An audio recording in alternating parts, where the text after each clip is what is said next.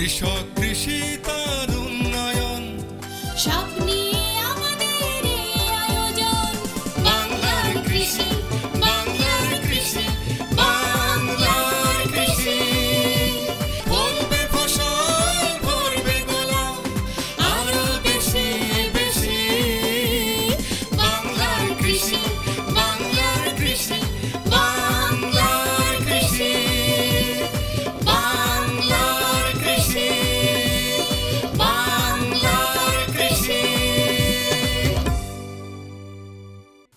সুপ্রিয় দর্শক, বাংলার কৃষি অনুষ্ঠান থেকে শুভেচ্ছা জানাচ্ছি।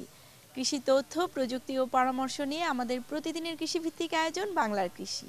কৃষক ভাইয়েরা, আমাদের আজকের অনুষ্ঠানে আপনারা দেখবেন, মাঠ ফসলের করণীয় সম্পর্কে একটি মাঠ প্রতিবেদন এবং সেই সঙ্গে থাকছে কৃষি বিষয়ক নানা রকম তথ্য ও পরামর্শ। অনুষ্ঠানের শেষাংশে থাকছে মৎস্য বিষয়ক প্রতিবেদন, শুরুতেই মাঠ প্রতিবেদন।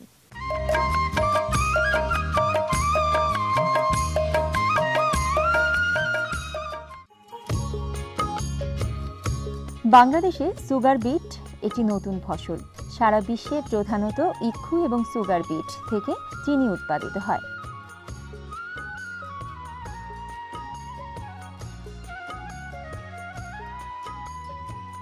এটি একটি শীতপ্রধান অঞ্চলের ফসল, কিন্তু আধুনিক গবেষণার ফলে উষ্ণ ও অউষ্ণ অঞ্চলে চাষাবাদের জন্য কিছু সুগার বিটের জাত উৎপাদিত হয়েছে। সুগার বিট একটি স্বল্পমেয়াদী মূল জাতীয় ফসল। দেখতে অনেকটা মূলার মতো। এটি চারা থেকে পরিপক্ক হতে সময় লাগে পাঁচ থেকে সাড়ে পাঁচ মাস পর্যন্ত।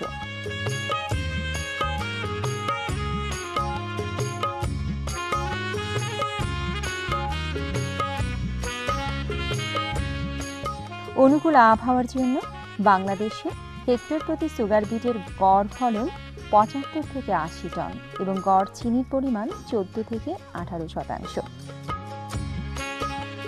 সুগার বিটের প্রজনন বৃদ্ধিকল্পে সুগার মিল এলাকা সহ সারা দেশে গবেষণার মাধ্যমে মাতৃ বীজ বর্ধনে কার্যক্রম জোরদার করা হচ্ছে। বাংলাদেশে বাংলাদেশ সুগার কোর গবেষণা ইনস্টিটিউট দুই হাজার এগারো বারো রোপণ মৌসুম থেকে বাংলাদেশের বারোটি চিনিকল এবং যেহেতু সুগার বিট একটু একটি লবণাক্ত সহিষ্ণু ফসল, এজন্য আমাদের লবণাক্ত প্রবণ এলাকা সাতক্ষীরা, বাগেরহাট, সাতক্ষীরার আশাশুনি এবং বেনারপোতা বাগেরহাটে রামপাল, বটগুনা, বরিশাল, ভোলা এইসব আমাদের লবণাক্ত প্রবণ এলাকায় আমাদের বিস্তারিত গবেষণা কার্যক্রম সম্পাদিত করছি আমরা। সতেরোটি সুগার বিটের জাত আমরা উপযোগিতা যাচাইয়ের জন্য আমরা গবেষণা স্থাপন করেছি এবং আমাদের যে বিগত বছরের গবেষণার ফলাফলে আমরা আশাবাদী যে সুগার বিটটি বাংলাদেশে চাষাবাদ করা সম্ভব হবে এবং আখের পাশাপাশি সুগার বিট থেকে চিনি উৎপাদন করতে পারি, তাহলে স্বল্পমেয়াদী ফসল হিসেবে আমাদের যেহেতু সুগার বিটটা পাঁচ থেকে সাড়ে পাঁচ মাস বয়সে আমরা পেতে পারব। নভেম্বর মাসে যে অন্যান্য ফসল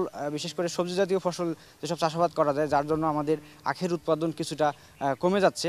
এর সঙ্গে কম্পিট করে আমার যেহেতু সুগার বিটটা একটি মূল জাতীয় ফসল, মূলা জাতীয় ফসল এটা অন্যান্য সবজির সঙ্গে কম্পিট করে টিকতে পারবে এবং আমাদের চিনি উৎপাদনের পরিমাণ বাড়বে। ইক্ষু দীর্ঘমেয়াদী ফসল হওয়ায় দিন দিন কৃষক ইক্ষু চাষে আগ্রহ হারিয়ে ফেলছে। ইক্ষু চাষের উপযোগী জমিগুলো শীতকালীন সবজি চাষের আওতায় চলে যাচ্ছে। এমতো অবস্থায় মিষ্টি জাতীয় ফসলের উৎপাদন রক্ষায় ইক্ষুর পাশাপাশি স্বল্পমেয়াদী সুগার বিট চাষ করে তা থেকে চিনি উৎপাদন করা যায়। তাহলে দেশে চিনি উৎপাদনের পরিমাণ যেমন বাড়বে সেই সাথে বিদেশ থেকে চিনি আমদানি নির্ভরতা কমবে এবং বৈদেশিক মুদ্রার সাশ্রয় হবে।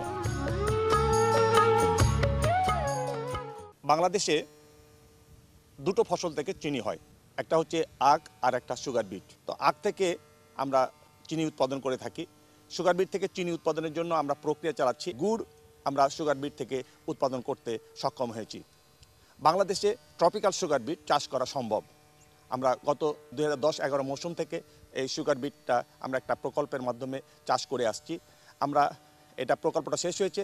এখন আর একটা প্রকল্পের মাধ্যমে আমরা সারা বাংলাদেশে এই সুগার বিট চাষ করে যাচ্ছি। সুগার বিট একটা পাঁচ মাসের ফসল। সুগার বিট থেকে আমরা একশো পঞ্চাশ দিন অর্থাৎ পাঁচ মাসে আমরা এটা হারভেস্ট করতে পারব এবং সুগার বিট থেকে আমরা চিনি উৎপাদন করতে সক্ষম। যে হেক্টরে এক লাখ থেকে এক লাখ বিশ হাজার গাছ থাকে। প্রত্যেকটা সুগার বিটের ওজন যদি এক কেজি হয়, তাহলে আমাদের ইল হবে এক একশো থেকে একশো বিশ টন পার হেক্টর এবং এটা আমাদের জন্য যদি আমরা প্রতি কেজি চার টাকা কেজি বিক্রি করি তাহলে আমরা মোটামুটি আমরা এটা প্রফিটেবল হবে। এই ফসলটা খুবই লাভজনক মাত্র পাঁচ মাস সময় লাগে এটা লাভজনক এবং এটা করা আমাদের দেশে সম্ভব।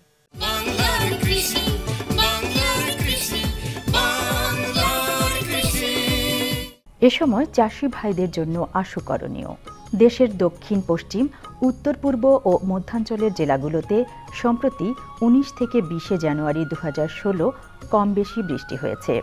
এ বৃষ্টির প্রভাবে ফুল ফোটা অবস্থায় খেসারি, মসুর, সরিষা যেসব ফসল আছে সেগুলোর কিছু ক্ষতি হলেও ফল ফলাদি সহ অন্যান্য সব ফসলেই এ বৃষ্টি অতি অনুকূল প্রভাব ফেলেছে। বিশেষ করে বৃষ্টির প্রভাবে ফল গাছ ও শস্যের পাতায় জমে থাকা ধুলাবালি সব ধুয়ে যাওয়ায় গাছের পাতার খাদ্য তৈরি ক্ষমতা বৃদ্ধির সুযোগ সৃষ্টি হয়েছে। বৃষ্টি ও কুয়াশার প্রভাবে আম ও অন্য ফসলে কোনো কোনো ছত্রাকের আক্রমণ বিস্তারের যথেষ্ট আশঙ্কা আছে। এজন্য অনতিবিলম্বে আম গাছে ইমিডাক্লোরোপাইড দলীয় কীটনাশক প্রতি লিটার পানিতে শূন্য দশমিক পাঁচ মিলিলিটার, ডেসিস প্রতি লিটার পানিতে এক মিলিলিটার এবং সানোক্সানিল দুই গ্রাম একত্রে মিশিয়ে গাছ ভালোভাবে স্প্রে করা হলে এ সময়ের পোকা ও ছত্রাকের ক্ষয়ক্ষতি প্রতিহত করা যাবে। এ সময় কোনো মতেই আম, লিচু গাছের গোড়া কোপানো, সার ও সেচ দেওয়া যাবে না। আলু ও টমেটো ফসলে লেট ব্লাইট ও অন্য রোগের আক্রমণ সম্ভাবনা খুব বেশি। এজন্য সাত দিনের ব্যবধানে দুইবার প্রতি লিটার পানিতে দুই থেকে দুই দশমিক পাঁচ গ্রাম ম্যানকোজেব দলীয় ছত্রাকনাশক দিয়ে এ ফসল দুটি ভালোভাবে স্প্রে করার ব্যবস্থা অনতিবিলম্বে নিতে হবে। সরিষা, মসুর ও খেসারি ফসলে এ বৃষ্টি ও কুয়াশার প্রভাবে কিছু রোগের আক্রমণ বাড়ার সম্ভাবনা খুব বেশি। এজন্য অনতিবিলম্বে ইক্রোজিম, কার্বনডাজিম, ম্যানকোজেব মিশ্রণ নামক ছত্রাকনাশক প্রতি লিটার পানিতে এক গ্রাম হারে মিশিয়ে সাত দিনের ব্যবধানে দুবার এসব ফসলে স্প্রে করার ব্যবস্থা নিতে হবে।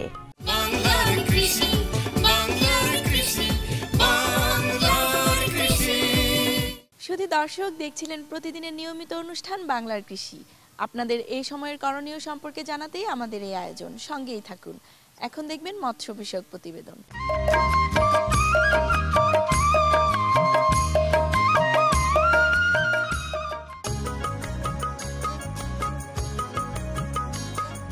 ভাতে মাছে বাঙালির প্রধান জীবন জীবিকা, মৎস্য সম্পদের উপর নির্ভরশীল।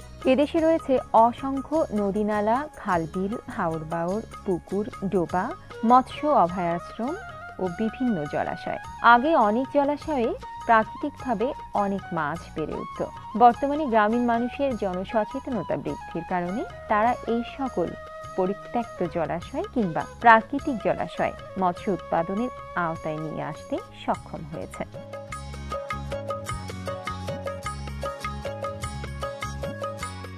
রূপগঞ্জ উপজেলার পড়শি গ্রামের মানুষ। তাদের গ্রাম বেষ্টিত একটি জলাশয়ে সমাজবদ্ধ হয়ে মাছ চাষ করছেন। গ্রামের অনেকেই এই খামারে কাজ করে। কেউ জাল টানে, কেউ নৌকা চালায়, আবার কেউ কেউ মাছ ধরে বাজারে নিয়ে বিক্রি করে। তাদের খামারে রুই, কাতলা, ব্রিগেড ও সিলভার কার্প মাছের চাষ হয়। মাছে মাছে ভরে উঠেছে তাদের খামার। মাছ বিক্রির লাভের অংশ থেকে জাল, নৌকা, মাছ, ওজন করার মেশিন ক্রয় করা হয়েছে। মাছ খামারেই ওজন করা হয়। স্থানীয় দূর দূরান্ত থেকে পাইকার বা মৎস্য ব্যবসায়ী এসে খামার থেকে সরাসরি মাছ কিনে নিয়ে যায়। তাদের জলাশয়ের পোনা খুবই গুণগত মানসম্মত বিধায় খামার থেকেই বিক্রয় হয়। এলাকার অন্যান্য খামারিরা ট্রাকে করে এই পোনা তাদের পুকুরে নিয়ে যায়। এই খামারের শেয়ারের লভ্যাংশ। গ্রামের সকলেই ভোগ করে থাকে। তবে দুজনকে পরিচালনার পূর্ণ দায়িত্ব দেওয়া হয়েছে।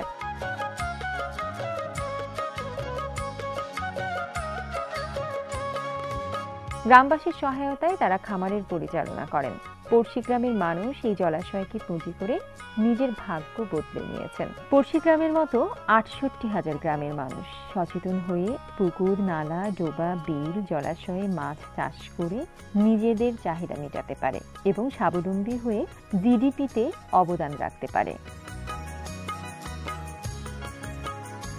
আমার এই খামার দিকে কাকার এই খামার দিকে আশেপাশে গ্রামে অনেক খামার হয়েছে আমরা রেনুটা কিনা নেই রেনুটাই আমরা করি এই জায়গায়। আমরা রেনু টাইনা মনে করেন পোনা বিক্রি করি আমাকে ভালো পোনা হয়। পোনা হওয়ার পরও আমরা মনে করেন প্রতি বছর দুই তিন দুইশো মন, তিনশো মন পোনা বিক্রি করি। পোনা বিক্রি করে মোটামুটি ভালো আছি আমরা, ভালো লাভবান আছি। আর আমার এই মাছটা নিয়ে যারা যারা খামারে নেয়, খুবই ভালো। আমার একটা পাশে খামার আছে, এই খামার থেকে প্রতি বছর ওই একশো মন, দেড়শো মন মাছ নেয় হেরা। হেরা এখান থেকে মাছ নেয় মনে করেন আধা কেজি বা আড়াইশো গ্রাম এই মাছটা হেরা এক বছর পরেই তিন কেজি, চার কেজি ওজনের মাছটা পায়। আমার এই খামারটা আছে প্রায় দুশো বিঘার মতো। আমরা প্রতি বছরই এই খামারটা নিয়ে এই এলাকার ভাই বারাদের চাষা যারা, সবাই থাকে। সবারই নিয়ে থাকে। সবাই মনে করেন পাঁচ হাজার টাকা শেয়ার দেয়, তিন হাজার টাকা লাভ পায়। মাছের খামার থেকে আমি সরি না, মাছের খামারটা খুবই ভালো একটা ব্যবসা। মিঠা পানির মাছ তো খুবই সুস্বাদু বেশি। এই জন্য অনেক জায়গার পার্টি আসে, অনেক জায়গার কাস্টমার ঢাকা থেকে এরা আসে, গাড়ি দিয়ে মাছ কিনে নেয়। আমার এই খামারে মনে করেন অনেক লোক কাজ করে। মনে করেন বেকার থাকতো অনেক লোক ওখানে বেকার নাই আমার এই খামারে কাজ করে আমি নিজেও কাজ করি। বাংলার কৃষি বাংলার কৃষি বাংলার কৃষি। দেখছিলেন মৎস্য বিষয়ক প্রতিবেদন এরই সঙ্গে শেষ করছি আমাদের আজকের আয়োজন বাংলার কৃষি। বাংলার কৃষি আগামীকাল একই সময়ে প্রচারিত হবে। কৃষক ভাইরা আমাদের এই অনুষ্ঠান সম্পর্কে আপনার মতামত এবং পরামর্শ আমাদের লিখে জানাতে পারেন। আমাদের লিখবার ঠিকানা? প্রযোজক বাংলার কৃষি, কক্ষ নম্বর দুইশো বাইশ, বাংলাদেশ টেলিভিশন টেলিভিশন ভবন, রামপুরা, ঢাকা। আমাদের ইমেল অ্যাড্রেস বাংলার কৃষি at the rate of AIS dot GOV dot BD Facebook ID বাংলার কৃষি। আপনারা ইচ্ছা করলে ইউটিউবে বাংলার কৃষি অনুষ্ঠানটি দেখতে পারেন। কৃষক ভাইয়েরা আপনারা সুস্থ থাকুন ভালো থাকুন সেই প্রত্যাশায় শেষ করছি আমাদের আজকের বাংলার কৃষি। আল্লাহ হাফিজ। কৃষক কৃষি তার উন্নয়ন। স্বপ্নে